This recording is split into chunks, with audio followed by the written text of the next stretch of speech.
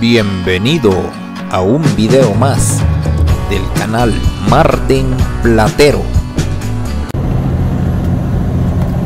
Aquí vamos nuevamente en una pendiente hacia arriba.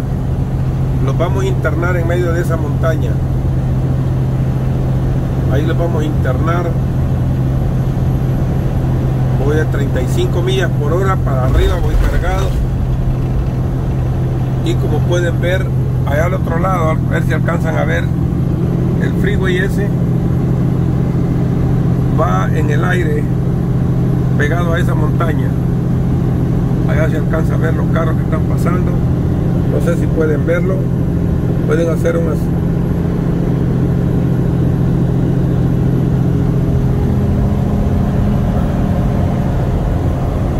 esa es una es una ruta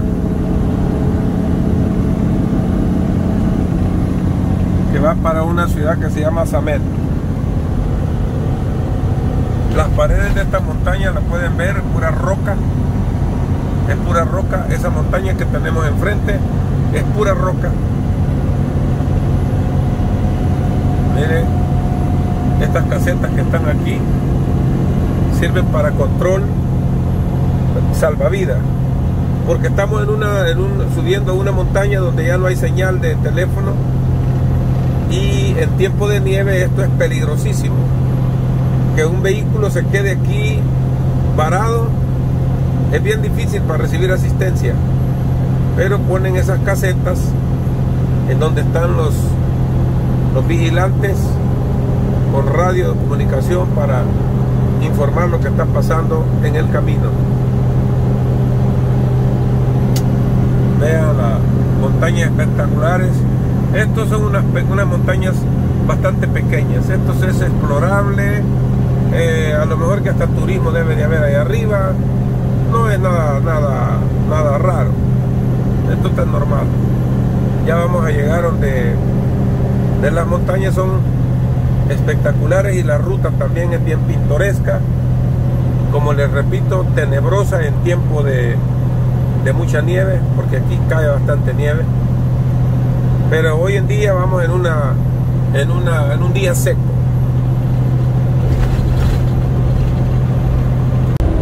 Camaradas, colegas, en este momento estoy navegando en el, en el Freeway 90 desde la capital de Washington, de Seattle, hacia la ciudad de Gillette en Wyoming.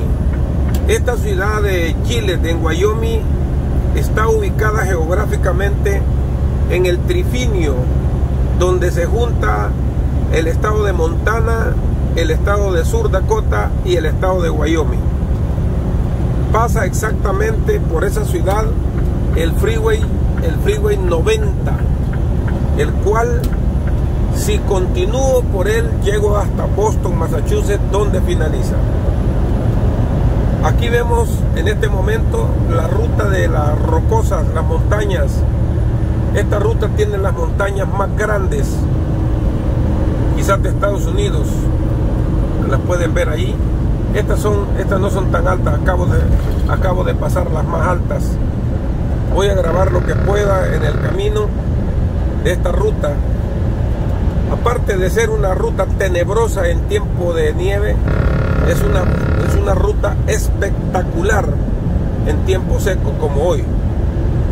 Van a ver ustedes pura vegetación, no tenemos ciudades cercas, las montañas se elevan hasta el cielo. Hay unas montañas aquí difícilmente de explorarlas. Creo que hay muchas montañas de estas que son vírgenes, no las que estamos viendo en este momento. Estas tienen una altura grande, pero se ven que son vegetadas hasta, hasta la punta. Eso quiere decir que si hay vegetación, hay forma como, como explorarlas. Pero hay otras de pura piedra que se elevan altísimo y que difícilmente hay cómo agarrarse y subir tan lejos. Este es uno de los primeros reportajes en esta ruta camarada de mucho de mucho, eh, ¿cómo le quiero decir? De mucho que hablar, de mucha eh, adrenalina, porque la ruta, aparte de ser sinuosa, es también con muchas pendientes de bajada y subida. Aparte, las grandes montañas que se elevan monstruosamente a ambos lados de la carretera. Allá adelante, el freeway se desplaza pegado a una montaña en el vacío del abismo y en el fondo hay un lago. Allí se siente bastante tenebroso manejar, principalmente en la noche.